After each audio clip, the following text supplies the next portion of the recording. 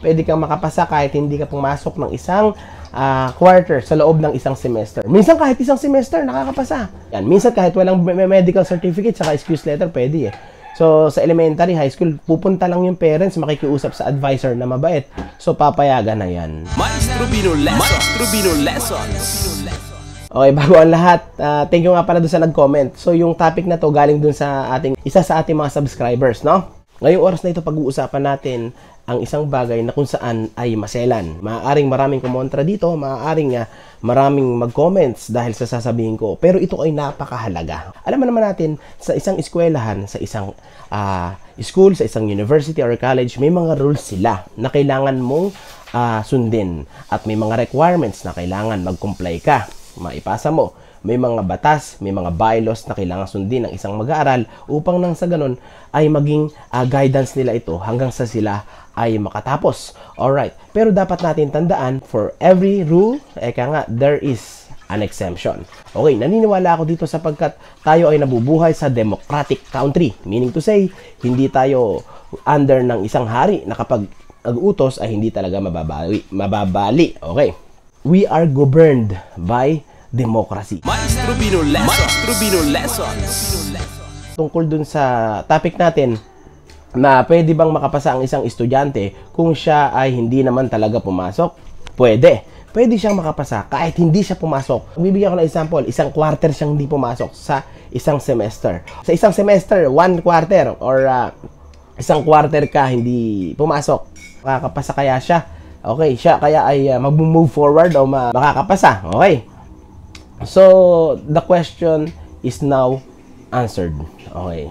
Pwede siya makapasa. Pero, may dapat kang tandaan, may dapat tayong tandaan upang nasa ganun ay uh, makapasa tayo kahit isang quarter, kahit buong quarter, eh ka nga, na ikaw ay uh, umabsent or hindi pumasok. Okay, unang-una, sabi ko nga sa inyo, may mga valid reasons tayo upang sa ganun ay tayo ay ma-excuse sa isang uh, paaralan. Okay, para makumpleto natin yung hinihingi, ano?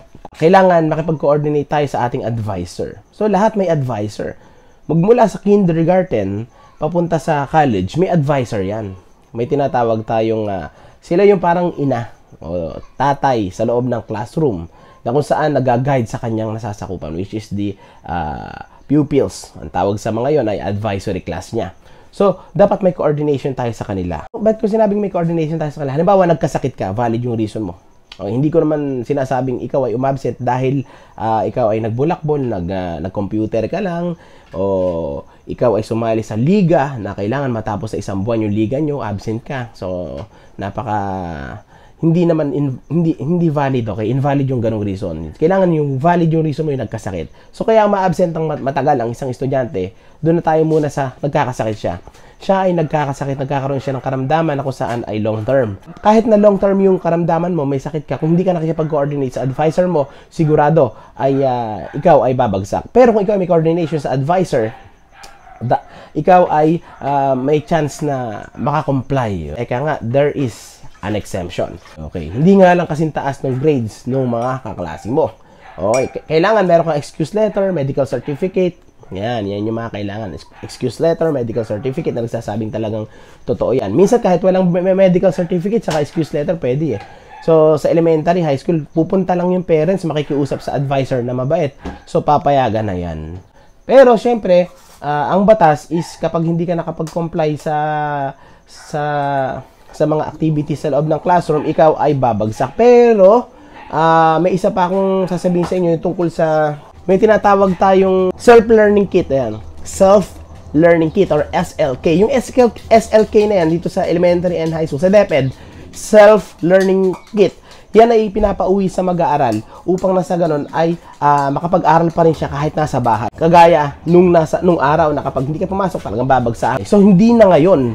Kahit nasa bahay ka, pwede kang makapasa. So kailangan um, makapag-comply ka lang sa mga ganitong bagay. Yung tinetake home yung exam, something like that. Sa college nangyayari din yan ano. So modular minsan eh. O may sakit ka, hindi ka makalakad. So I will give you modules. Uh, I will give you uh, activity sa bahay mo gawin. Sasagutan mo yan, tapos uh, bibigay mo, babalik mo sa guro pag tapos na. Yung may tinatawag tang special exam, binibigay yan sa mga athletes At syempre, binibigay din yan sa mga nagkakasakit. Okay, Ah, sana nakatulong ako sa inyo. Sana ay nabigyan ko kayo ng idea about sa paano makapasa kahit hindi ka pumasok ng matagal. Okay? Ah, sana maintindihan nyo rin na, na dapat ay hindi kayo nagsisinungaling. Hindi kayo magsisinungaling sa inyong guro kapag kayo ay umabsent. Kasi pagbibigyan kayo. Okay, sana nasagot ko rin yung nang maayos yung nagtanong sa atin, yung subscriber natin na pwede kang ah, mag-move up, moving up, ano? Mag-move up or uh, pwede kang makapasa kahit hindi ka pumasok ng isang uh, quarter sa loob ng isang semester. Minsan kahit isang semester, nakakapasa. Because sabi ko nga, may mga take-home exam, may mga self-learning kit, may mga modules na pinapauwi. Kahit na face-to-face na, ginagamit pa rin yung mga modules na yan. Pwedeng gamitin yung mga self-learning kit na yan para nang sa ganun, yung bata makapag-comply, makumpleto niya yung mga requirements in that academic uh, year, no? So, yun lamang sana nasagot ko. Thank you very much. Sa mga bago pa lang sa channel natin, please subscribe. Okay. And then click the notification bell for you to be updated, to be notified every time we have important videos. Thank you very much sa mga subscribers natin. Naabot natin yung 1,000 subscribers and now we are more than one we have more than 1,000 subscribers and counting. And we are not just in subscribers eh doon tayo sa sa content natin. Doon tayo sa mga kaibigan natin, mga subscribers na mismong tao. Hindi tayo sa count, hindi tayo sa pera, hindi tayo sa kung ano paman, kundi tungkol ta- tungkol ito sa uh, long-term uh, knowledge about sa pag-aaral. Kung may problem kayo sa school, just message and then I will answer immediately. Look at my comment sections in all my contents Sinasagot ko po talaga yan. Ako ang nagsasagot, nagtatype. Okay, thank you very much. That's all for today. Lagi niyong tandaan, always remember that every human is a student in this giant classroom called life. Palagi kasama Maestro Bino Lessons. Maestro Bino Lessons.